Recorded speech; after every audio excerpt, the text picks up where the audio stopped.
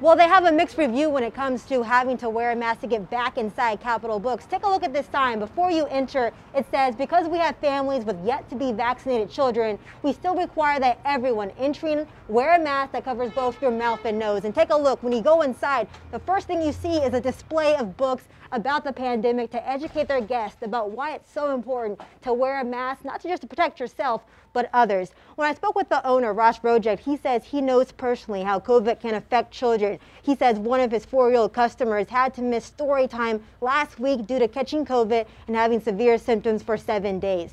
Rojek says he wishes that the county would make masking a mandate instead of a recommendation to give businesses support during this time when customers do not want to comply. Because, you know, they blame us. You know, I, I get the eye roll or you know, we get yelled at for making somebody wear a mask for the two minutes it takes them to come in, grab their thing, and go. Um, so it's helpful if we can roll it up and say, well, the county has mandated it.